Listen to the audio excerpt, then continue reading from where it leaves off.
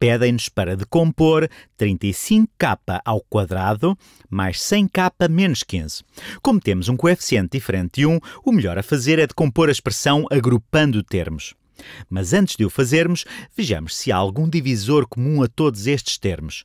Talvez com isso fiquemos com um coeficiente igual a 1, ou se isso não acontecer, pelo menos ficaremos com coeficientes de menor valor. Se olharmos bem para estes números, parecem ser todos divisíveis por 5. Na verdade, o máximo divisor comum é de facto 5. Então vamos pôr o 5 em evidência. Isto é igual a 5 vezes 35k ao quadrado a dividir por 5 é 7k ao quadrado. 100k a dividir por 5 é 20k. E menos 15 a dividir por 5 é menos 3. Conseguimos pôr o 5 em evidência, mas mesmo assim não temos o coeficiente do termo de maior grau igual a 1. Vamos ter de decompor por agrupamento, mas, ao menos, os coeficientes ficaram mais pequenos, portanto será mais fácil encontrar números cujo produto vai ser igual a 7 vezes menos 3 e cuja soma seja igual a 20. Debrucemos-nos sobre isto vamos tentar encontrar dois números que, uma vez somados, ou melhor ainda, cujo produto seja igual a 7 vezes menos 3, 7 vezes menos 3 é igual a 7 vezes menos 3, que é igual a menos 21. E quando somamos estes dois números, o resultado dá 20. É igual a 20. Como o produto é um número negativo, sabemos que tem de ter sinais diferentes. Quando adicionamos números com sinais diferentes, podemos dizer que estamos a calcular a diferença dos módulos. A diferença entre os módulos dos números tem de ser igual a 20. Os números que me vêm logo à mente são 1 e 21. O 1 será negativo porque queremos que a soma dê 20, Vejamos, se pensarmos em 20 e menos 1, o produto é menos 21. Desculpem, se pensarmos em 21 e menos 1, o produto será menos 21.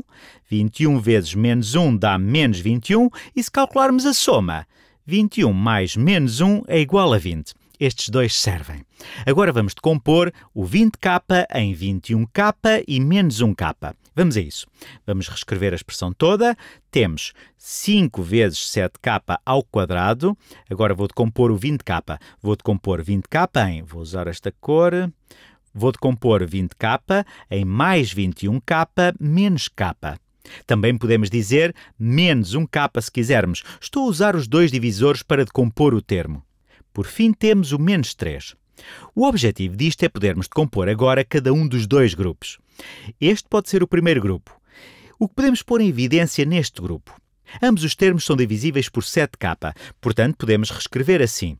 7k vezes 7k ao quadrado a dividir por 7k é igual a k, mais 21k a dividir por 7k é igual a 3.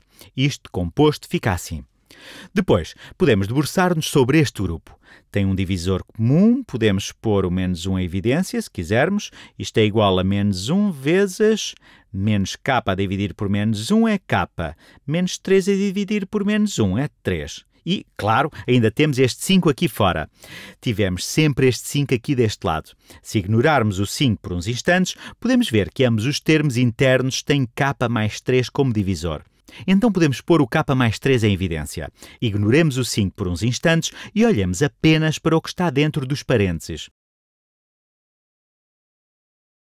Podemos pôr K mais 3 em evidência e fica K mais 3 vezes K mais 3 vezes 7K menos 1. Se isto vos parecer estranho, distribuam K mais 3 por isto.